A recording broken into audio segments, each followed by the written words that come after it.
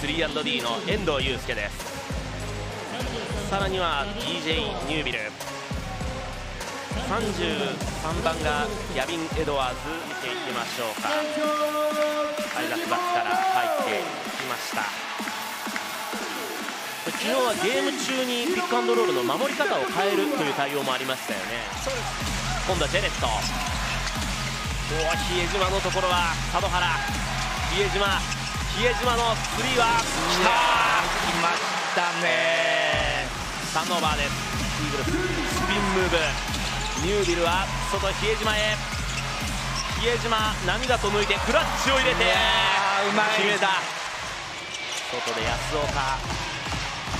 中にはバッツがいるがそこには角度が作り出せないか。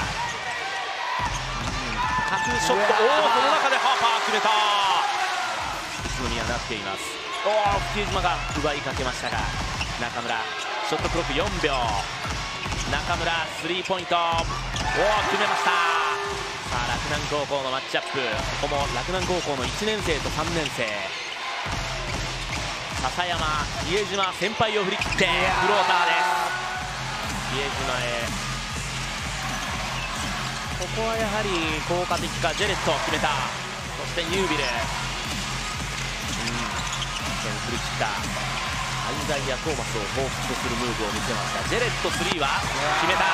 ジェレット。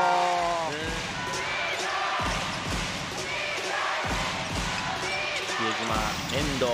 遠藤3うんいやきた。笹山。バッツがピック。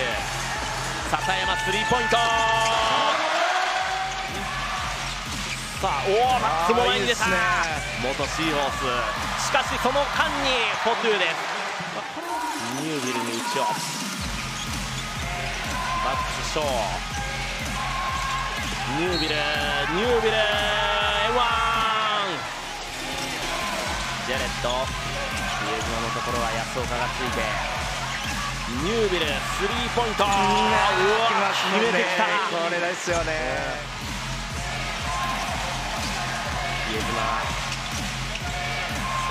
竹内康介スリーポイント決めた。おそしてセレブレーション20点オーバーは間違いないですね。普段はでも31分なんですねですよね。平均がはい。並里落ちたハーパー決めて9.5秒。ここはパスでかわして遠藤です、うん。ここで勝負ありということになりました。